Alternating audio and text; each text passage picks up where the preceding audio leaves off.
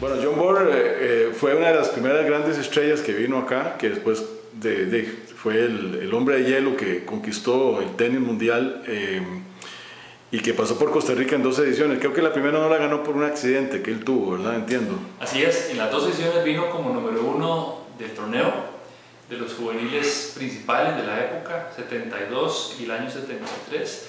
En el 72 llevaron a los jugadores a la caraña a montar caballo, se cayó del caballo y se rompió la muñeca. Tuvo que retirarse board. En la segunda edición que llegó, en el año 73, llegó y la ganó. Eh, por supuesto, después ganó 6 Roland Garros, 5 Wimbledons eh, y se convirtió en uno de los tenistas eh, de mayor trayectoria, más, exitosos en el tenis mundial. y sí, como usted dice, el hombre de hielo, él realmente ganaba a, a base de esfuerzo, él implementó el backhand de dos manos o el revés de dos manos, esa firmeza que tenía de fondo, que no fallaba, esa frialdad mental que tenía para cerrar partidos. Desafortunadamente se retiró a los 26 años, muy muy joven, eh, pero bueno, es uno de los grandes que también pasó por el Copa. Bueno, una pareja tica le ganó a la pareja sueca con Bor, ¿verdad? Sí, creo que Carlos Mora jugó contra él. Y Delgado, Y Mario Delgado.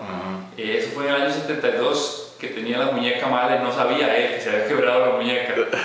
y le ganaron a, a ellos. Y ahí fue donde se dio cuenta que tenía la, la lesión de la muñeca. Caramba, bueno, ese fue un factor ahí, un handicap, ¿verdad? Que tuvo ahí. Exacto. Y, y, bueno, Bor, Bor eh, este, es toda una celebridad, ¿verdad? Este, hasta una película acaba de salir con esa, esa rivalidad que tuvo con John McEnroe.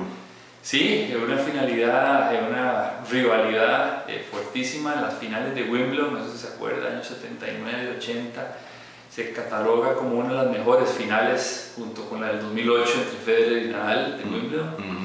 Eh, Borg tenía pocos años de haber estado aquí en Costa Rica cuando se dio eso, ¿no? Imagínense, ganó en el 73 y esas finales eran del 77 al 81. Sí, sí. fueron años, pocos años después de, estar por acá. Él a este año le mandó al comité de la Copa del Café y al club una camisa autografiada por él deseándole buenos deseos y dice recordando las buenas épocas de la Copa del Café. que, ¿Fue iniciativa de él ustedes eh, lo, contactaron? ¿Qué fue? Fue iniciativa de un entrenador eh, que tiene 12 años de venir a la Copa del Café con, jugadores, trabaja y vive en Suecia, conoce al hijo de Borg, Leo, Leo Borg.